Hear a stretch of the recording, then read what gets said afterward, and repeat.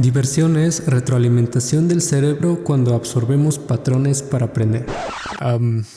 esta es la definición de Ralph Coaster, creador del libro Theory of Fun, Teoría de la Diversión. Así que vamos a ver cómo llegó a esta definición y cómo puedes usarla para aprender más rápido y hasta sobrevivir. Bueno, fun, diversión, puede venir de fon, F-O-N-N, que significa placer en gaélico. Si estás de acuerdo con la definición, todo lo que nos haga sentir placer sería divertido. Y viéndolo del lado de la ciencia, lo que nos hace sentir placer es soltar endorfinas, entre otros químicos como dopamina y serotonina. Entonces tenemos que preguntar, ¿qué causa que soltemos estos químicos? ¿El momento del triunfo, cuando aprendemos algo o dominamos una tarea? Te habrá pasado que ganas y no puedes evitar sonreír al menos un instante. También cuando aprendes algo y sueltas un oh o se te enchina la piel. Si aprender nos hace soltar drogas, entonces aprender es divertido. Entonces los juegos no solo nos entretienen, sino que nos enseñan cosas. Yo incluso opino que los juegos son la mejor forma de aprender. ¿No me crees? No debemos subestimar las ganas del cerebro por aprender. Desde que nacemos estamos jugando, a veces juegos que ni siquiera entendemos. Esto para aprender.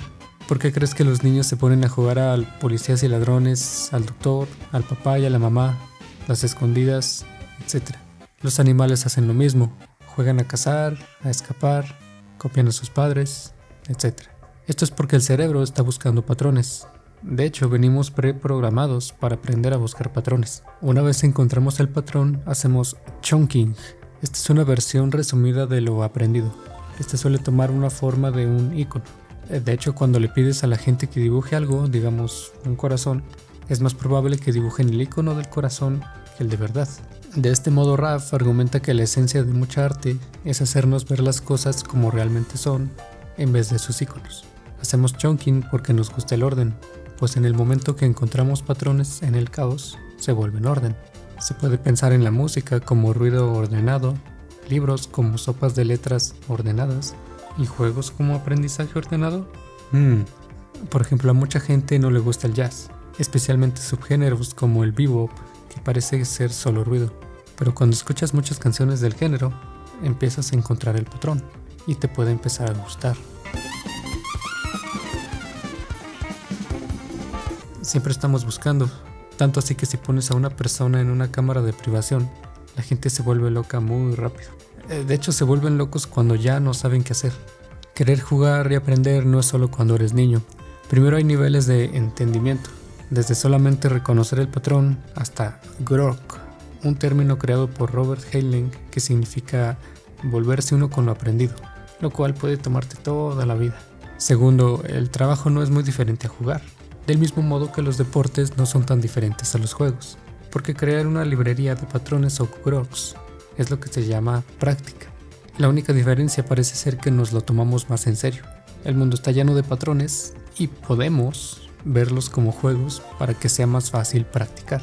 Los juegos son acertijos por resolver, como cualquier otra cosa que encontramos en nuestra vida. Por ejemplo, la escuela no suele ser divertida porque nos la tomamos en serio. Lo mismo para el trabajo, lo cual hace que sea más difícil innecesariamente. Mucha gente da el consejo de no volver a tu hobby tu trabajo, porque cuando se vuelve a tu trabajo, te lo tomas en serio. También los mejores profesores son aquellos que logran hacer que aprender sea divertido y también por eso muchas de las personas más exitosas son aquellas que hacen las cosas más por hobby que por profesión. La solución entonces es no tomarse las cosas tan en serio, ¿no crees? En mi opinión, pocas cosas se tienen que tomar completamente en serio. Si esta teoría es verdad, porque recuerda, es una teoría, entonces divertirse puede ser una ventaja evolutiva. La gente que no se toma tan en serio se divierte más, por lo que aprende más y con menos esfuerzo, dándote más probabilidad de sobrevivir. Pero claro, la gente necesita jugar juegos que les enseñen cosas nuevas y cosas útiles. Ese es el problema. El cerebro quiere aprender, sí, pero al mismo tiempo quiere evitar cosas impredecibles, porque lo impredecible nos puede matar. ¿No es el miedo a lo desconocido el miedo más grande que existe? También nos resistimos a que nos digan qué hacer, como nuestro jefe, nuestros padres o quien sea, por más que lo hagan por nuestro bien. Por cosas como esta, mucha gente prefiere jugar juegos que no los retan, por lo que no ejercitan su cerebro. Raf, el que ahora voy a llamar el Raf, menciona que crear juegos que no requieran habilidad del jugador debería ser un pecado en game design. Aquí pienso que el RAF exagera porque hay juegos que sirven como escapismo, juegos conocidos y simples que nos ayudan a evadirnos de la realidad un momento antes de volver. El problema es no querer volver. También hay escapismos mejores que otros. Uno que te enseña algo antes de volver siempre será mejor que uno que solo te entretiene. Sabiendo todo esto, ¿qué tipos de juegos deberíamos hacer? Según el Rafa, un buen juego enseña todo lo que tiene que enseñar antes de que el jugador deje de jugar. En cada juego llega un momento en el que dices, ya vi suficiente, y lo dejas de jugar. Como en Gato, Tic Tac Toe, cuando te das cuenta cómo jugar para ganar o al menos para empatar. O en Genshin Impact, cuando juegas 5 segundos. Los juegos que fallan en ejercitar el cerebro se vuelven aburridos. Por eso el destino de los juegos es volverse aburridos, no ser divertidos por siempre. Entonces el santo grial de Game Design para Rafa es un juego con retos infinitos para todos los niveles de habilidad, con una curva de dificultad perfecta que se ajuste a ti. Este juego sería la vida real, y ese juego no siempre es divertido. La diferencia entre juegos y realidad es que el riesgo es bajo en los juegos. Hay gente que dice la vida es un juego, pero en mi opinión es al revés. Los juegos son como la vida, porque nos enseñan a vivir. Entonces si estás de acuerdo que ese es el santo grial, podemos ver dónde fallan muchos juegos. Por ejemplo, Ben Cousins llama Ludemes a la unidad básica de gameplay, cosas como niveles, misiones, coleccionables, etc. Hoy en día los desarrolladores suelen añadir más y más Ludemes a cantidades ridículas tratando de hacer que el juego sea jugado por más tiempo, pero solo logran que el juego se tarde más en enseñar su lección. Los juegos son sistemas y chunks listos para el cerebro porque son abstractos e icónicos. Un juego puede requerir muchos sistemas o pocos, pero nunca un sistema o Ludeme que no contribuya a la lección que quiere enseñar. Compara juegos modernos AAA con docenas de sistemas contra juegos más simples como damas inglesas o ajedrez. ¿Cuál juego se seguirá jugando en 100 años? Al final, los juegos que suelen persistir son los que tienen pocos sistemas que encajan entre ellos de manera elegante. También existe el problema de designeritis, donde los diseñadores que aprenden todos los patrones de juegos terminan creando solo juegos derivativos juegos basados en otros, en vez de enfocarse en la lección en la raíz del producto.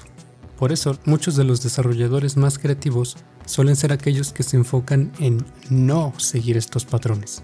Hay una rama de diseño que se llama gamificación, que trata de hacer que lo aburrido no lo sea tanto, pero suelen fallar, porque solo agregan sistemas de puntos, niveles y sistemas superficiales que sirven más para crear un hábito que para que te diviertas. Los videojuegos también están creados con código en computadoras. Esto hace que los juegos sean más rígidos. Y entre más rígido sea el juego, más limitado será. Por último, también está el problema de qué estamos aprendiendo. En resumen, muchas habilidades anticuadas. Cosas como puntería, cazar, escapar de depredadores, en vez de cosas más modernas como manejo de recursos, logística, pensamiento crítico, filtrar información, estrategia, etc. Las habilidades anticuadas son más fáciles y nuestro cerebro de cavernícola las prefiere. En parte por esto los juegos más populares son los que enseñan habilidades obsoletas. Somos flojos, nuestro cerebro nos da drogas por aprender, venimos preprogramados para aprender jugando. Todo nos dice que ser más listo nos ayudaría a resolver nuestros problemas y aún así somos flojos. Así que debemos preguntarnos qué habilidades necesitamos y hacer juegos que los enseñan sin volverlo demasiado difícil. Por ejemplo, los juegos de apostar nos enseñan sobre probabilidades. La máquina tragamonedas nos da la lección cuando nos quedamos sin dinero. Y aún así hay gente que sigue jugando. La mayoría de las cosas que enseñan las mecánicas del juego son más abstractas, como explorar, memoria, poder, trabajo en equipo, lógica, toma de decisiones, coordinación, reflejos, etc. El Rafael menciona que los juegos no son historias, aunque la gente puede crear historias con ellos. La historia de un juego te puede enseñar algo mientras las mecánicas te enseñan algo completamente diferente. A esto se le llama disonancia ludonarrativa, como The Last of Us 2, donde la historia dice que la venganza es mala, mientras que el resto del juego te muestra que es muy divertida. Y en este mismo juego lo que están enseñando las mecánicas en específico es coordinación ojo-mano, manejo de recursos, atención a tus alrededores, etc. Esto en mi opinión fue el mayor error del juego. No solo pusieron a la narrativa como parte más importante, sino que dieron la lección en la historia, no en las mecánicas. Aquí es donde se puede poner controversial. Incluso si las mecánicas de un juego te enseñan cosas potencialmente peligrosas, los juegos no controlan tu mente. Te enseñan cosas y tú eres el que decide aplicarlas en la vida real. Del mismo modo que no puedes echarle la culpa a alguien que te enseñó a pelear por haberte peleado. En mi opinión, si haces juegos, asegúrate de que estás enseñando algo útil. Entonces Rafael, Leonardo y Donatello dice que hacer sentir bien no es lo que deben hacer los juegos. Deben ofrecerte retos para que los apliques en la vida real. Pero como puedes ver, los juegos aún están en su infancia. Falta encontrar modos de enseñar cosas más útiles, más específicas, con menos esfuerzo, sin tantos ludemes y sistemas innecesarios. Ahora, no estoy intentando resumir todo el libro. El libro también habla a fondo sobre lo que no son los juegos, sobre la diferencia entre entretenimiento y arte, ética y tipos de jugadores. Así que te recomiendo leerlo.